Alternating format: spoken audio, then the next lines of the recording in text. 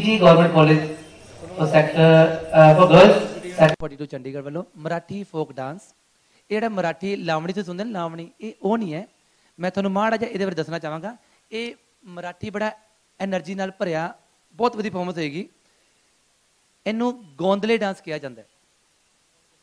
ਗੋਂਦਲ ਇਹਦਾ ਨਾਮ ਤਾਂ ਲਿੱਤਾ ਗਿਆ, ਜਦੋਂ ਧਾਰਮਿਕ ਓਕੇਜ਼ਨ ਕੋਈ ਵੀ ਇੱਕ ਵਧੀਆ ਕੋਈ ਧਾਰਮਿਕ ਓਕੇਜ਼ਨ ਹੈ ਜਾਂ ਅਸੀਂ ਮਾਤਾ ਰਾਣੀ ਦੀ ਜਦੋਂ ਪੂਜਾ ਕਰਦੇ ਹਾਂ ਤੇ ਜਦੋਂ ਵੀ ਦੇਵੀ ਦੇਵਤਾਵਾਂ ਦੀ ਪੂਜਾ ਕਰਨੀ ਹੁੰਦੀ ਸੀ ਅਸੀਂ ਗੋਂਦਲ ਡਾਂਸ ਪ੍ਰੈਫਰ ਦਿੰਦੇ ਸੀ ਕਿ ਇਹ ਡਾਂਸ ਹੋਵੇ। ਔਰ ਇਸ ਡਾਂਸ ਦੀ ਖਾਸੀਅਤ ਸਿਰਫ ਇਹਦੇ ਵਿੱਚ ਫੀਮੇਲ ਸਿਰਫ ਕੁੜੀਆਂ ਆਉਂਦੀਆਂ ਨੇ।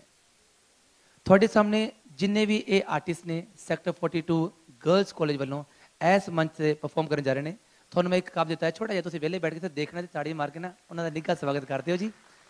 ਤੁਹਾਡੀ ਜ਼ੋਰਦਾਰ ਤਾੜੀਆਂ ਇਦਾਂ ਹੀ ਵੱਧਦੀਆਂ ਰਹਿਣਗੀਆਂ ਤੇ ਪਰਫਾਰਮੈਂਸ ਤੋਂ ਬਾਅਦ ਵੀ ਤੁਸੀਂ ਜਦੋਂ ਤਾੜੀਆਂ ਮਾਰਦੇ ਹੋ ਨਾ, ਤੇ ਮੈਨੂੰ ਪਤਾ ਕਿ ਆਰਟਿਸਟ ਦੇ ਅੰਦਰ ਕੀ